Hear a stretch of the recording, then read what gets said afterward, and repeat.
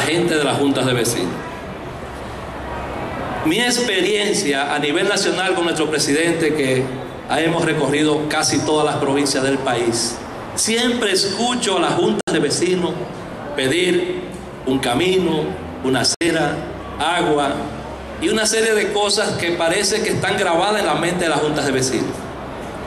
Y yo pienso que es tiempo también de pensar en la generación de empleo, la generación de riqueza, porque las juntas de vecinos tienen que trabajar por el bienestar también de la gente que vive ahí. A veces tenemos calles malas, pero viene alguien y hace una inversión y mejoran las condiciones.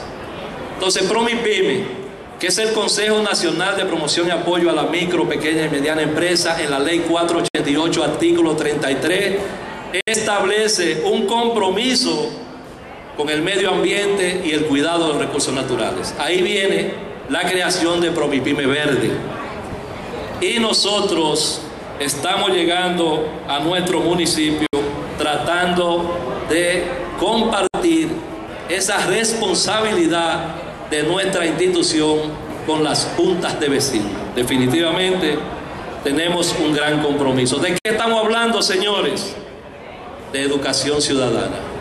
Queremos compartir esta responsabilidad en coordinación con nuestro ayuntamiento, con nuestro alcalde Manuel Jiménez, de ir a trabajar con ustedes al barrio allá, al barrio, a educarle.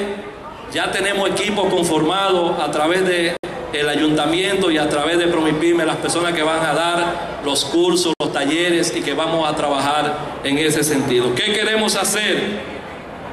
Queremos crear microempresas verdes.